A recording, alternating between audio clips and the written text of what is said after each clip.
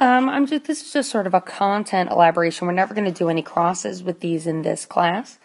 However, you do need to know that there are some traits that are polygenic. Let's break that down. Poly meaning many or multiple, and genic referring to genes. And so a polygenic trait is going to be a trait, like a characteristic about oneself, that is controlled by multiple genes.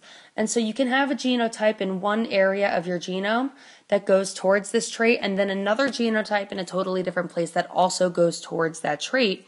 And so the combination of what all of the genes say about that trait determines what trait you have. And so this is going to um, uh, the, these polygenic traits, these are going to sort of uh, be indicative of traits where it's not very clear cut, the phenotype. Um, there's sort of a, um, how shall we call it? A uh, gradient of possible phenotypes.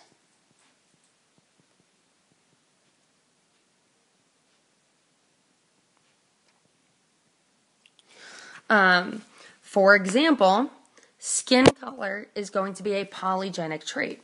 Not everybody that is pale is the same shade of pale or whatever you sort of imagine when you think pale.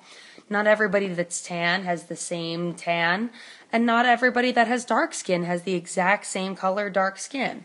Before it was, oh, you're a tall plant or you're a short plant, and we sort of assume all talls are the same and all smalls are the same all shorts are the same. And that's not the case in polygenic traits. There's a gradient, as you can sort of see, and you saw, fall somewhere on this line or within this graph.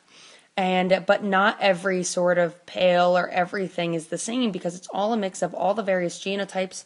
And so, for example, this is giving an example of, of possibly skin color being composed of three genes, uh, therefore, six total alleles lots and lots of different things going on there.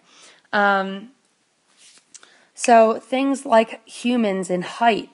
Um, also, it's not all tall people are six one and all short people are five two or something like that.